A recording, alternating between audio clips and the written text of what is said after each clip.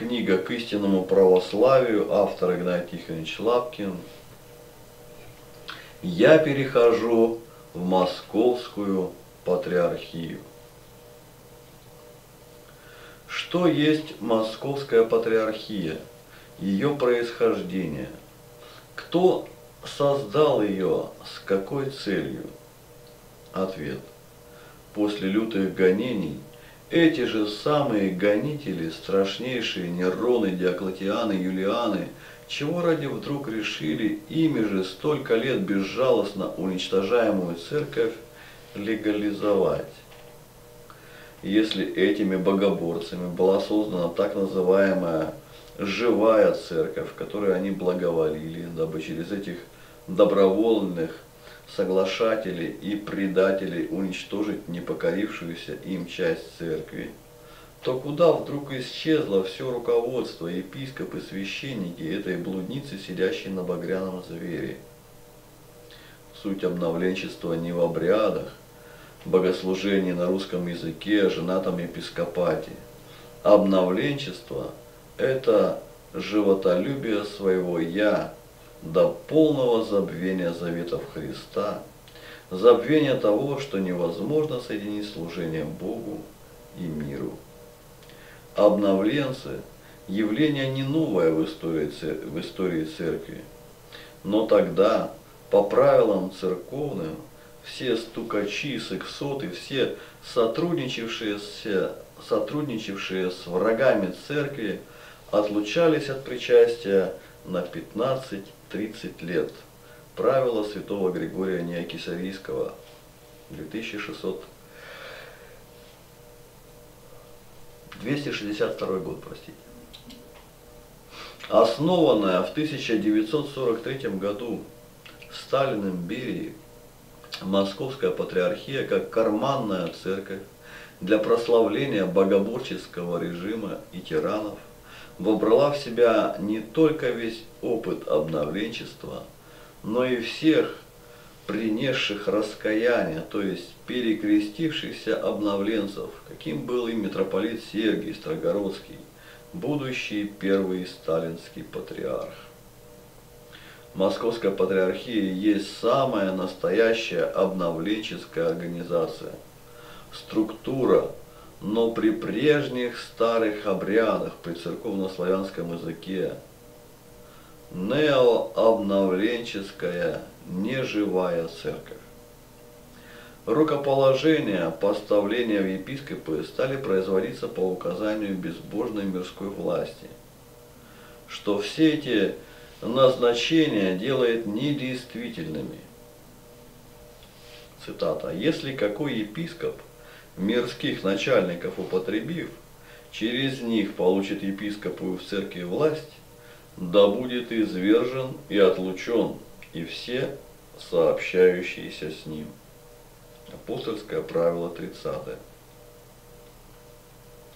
Всякое избрание во епископа или пресвитера или диакона, делаемое мирскими начальниками, да будет недействительно по правилу, которое говорит – если который епископ, мирских начальников употребив, через них получит епископскую в церкви власть, да будет извержен и отлучен, и все сообщающиеся с ним.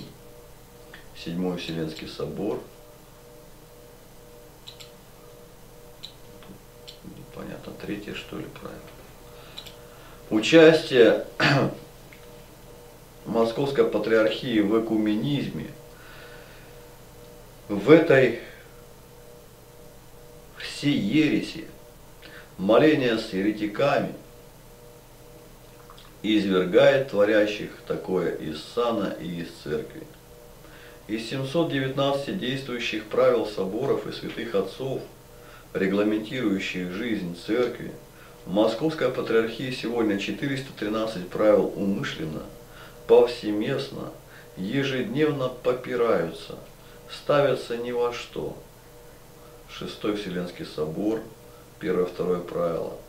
Церковь превратили в проходной двор, в ларек по продаже треп. Требования к духовному уровню, в кавычках крестящихся, причащающихся равны нулю. Мир и церковь неразличимы друг от друга. Эпитемии отсутствуют, оглашенные изыдите не выполняются. Для входа в церковь не требуется совершенно ничего. Вошел, вышел. Любой с улицы церковное здание церкви считает своим. Ситуация совершенно бесконтрольная, мирская публичная церковь. Для того, чтобы стать членом секты ислама, партии, что-то требуется сделать.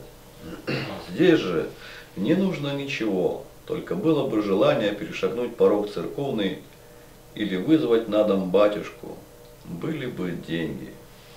Сравни. Книга Деяний, 5 глава, 13 стих. Из посторонних же никто не смел приставать к ним, а народ прославлял их. Сегодня кто посторонние для Московской Патриархии? К кому пристать?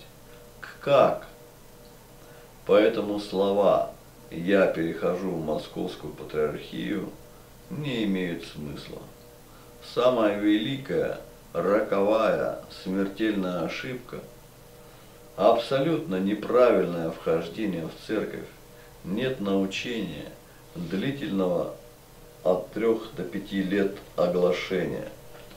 К церкви присоединяет Господь через личное уверование, принятие Христа в свое сердце.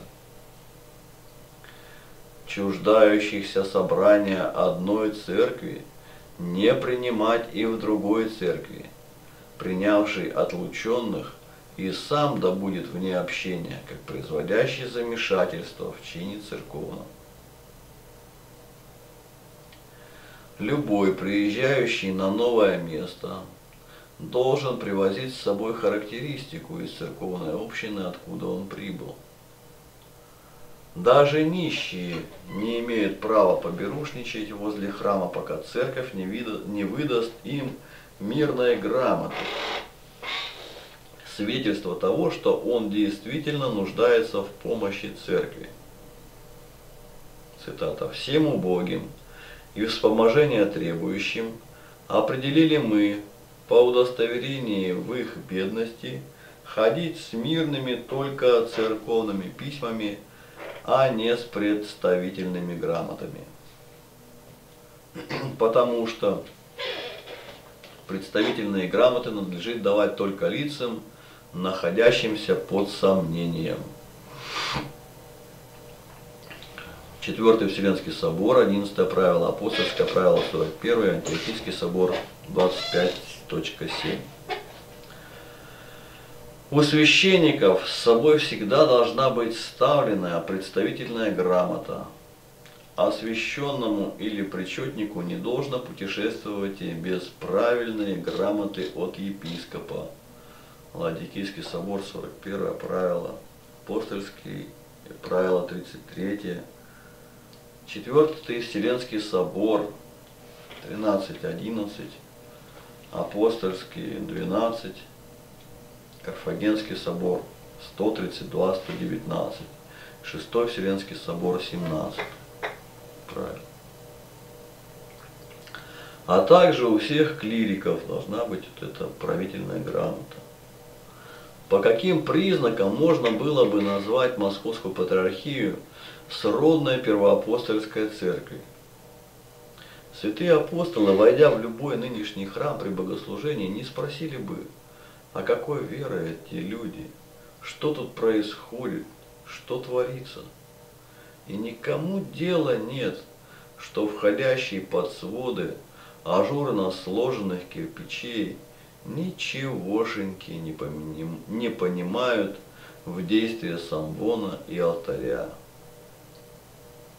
Все во внешнем, четырежды запечатанное живое слово Бога живого, театральность.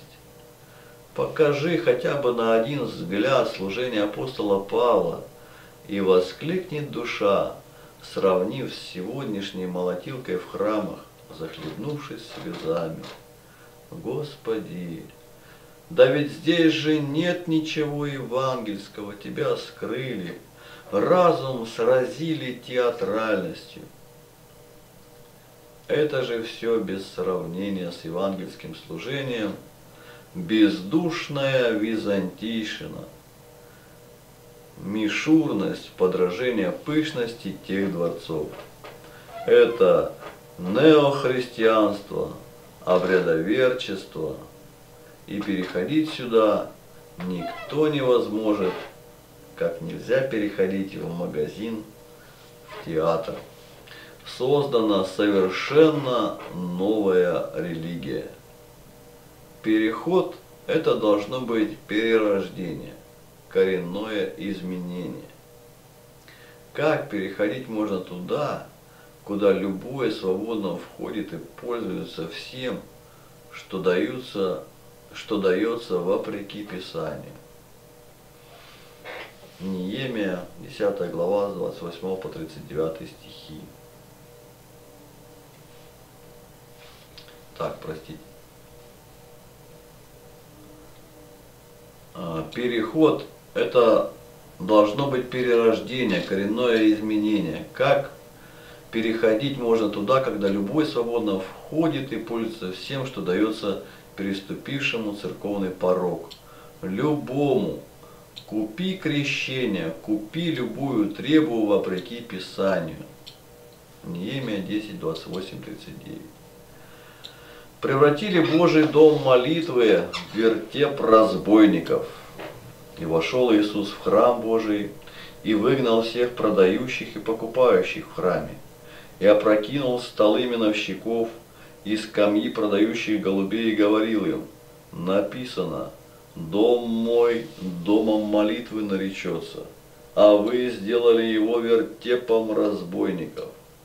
Евангелие от Матфея, 21 глава, 12-13 стих. Прельщая и убивая души разрешением грешить, по порочеству Достоевского, братья Карамазовы, глава Великий Инквизитора. И идут люди не за Христом, а за инквизиторами, которые ласкательствуют им и, позволяя грешить, продают индульгенции, таинства.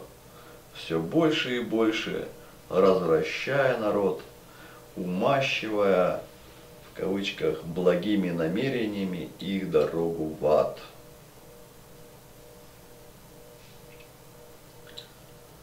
желание людей, уходящих в московскую патриархию, идти не путем истины, а путем греховных желаний и прихотей своего «я», обманывающих самих себя и тешащих себя пустыми надеждами, неподкрепленными верой. И попустительство церковных служителей греху – основное зло и одна из причин обмерщения московской патриархии. Остановись, душа, остановись, душа, расспроси о путях древних, о пути добром, чтобы идти по нему и найти покой, дабы не отверг тебя Господь. Прокеремия 6, 6 глава 6, 16 по 21 стихи. Для спасения знающих истину Бог установил жесткую иерархию, подчиненность.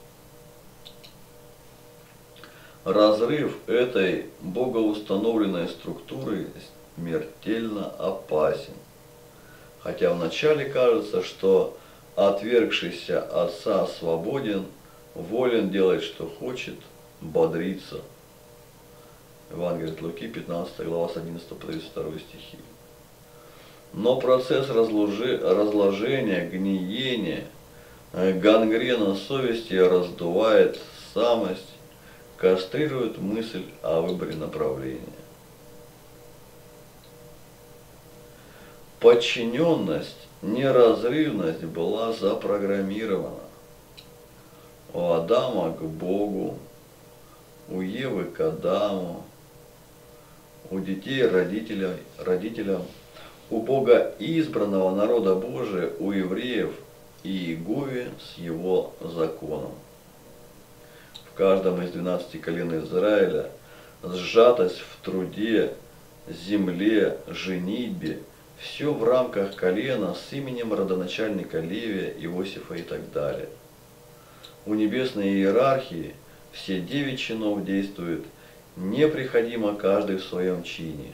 Ангелы, серафимы, начало и так далее. И везде запреты на выход из очерченного круга жизни и деятельности под страхом смерти анафимы. Пророк Исаия, 14 глава, Иезекииля, 28 глава. Могло ли быть иначе в Новом Завете?